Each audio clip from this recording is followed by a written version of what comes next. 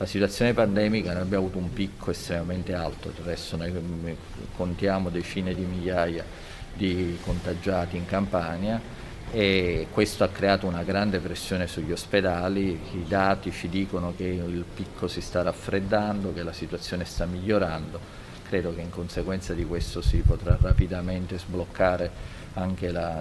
diciamo, l'offerta ospedaliera per le altre malattie e ritornare alla normalità. Noi dobbiamo uscire da questa emergenza pandemica perché solo in questa maniera possiamo tornare alla, alla normalità e fare in modo che poi tutte le offerte dei servizi siano soddisfacenti.